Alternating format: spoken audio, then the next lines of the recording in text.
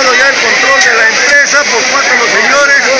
Al haberse ya bajado el oficio de la sala civil a Leonardo Ortiz donde ellos prácticamente automáticamente se anula la, todos los actuado en el juzgado de Ferrellajo.